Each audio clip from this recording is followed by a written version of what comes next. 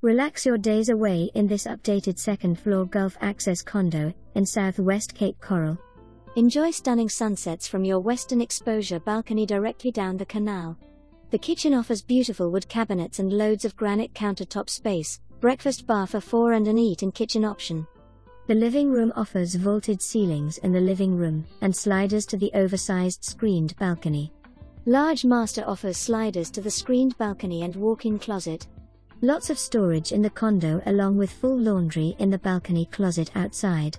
Replumbed 10 2020, new air conditioner 2018, development just repaved the parking area. Baruna Bay is a smaller, well-maintained community and offers heated pool, gazebo, shuffleboard and docking access for boats, short waitlist currently. Situated with easy access to the river with 110 bridge, great for kayaking as well. Convenient access to Cape Coral Parkway offering restaurants, shopping, Tarpon Point and Cape Harbour. Property can be rented 30 days and 12 X's a year, great investment property.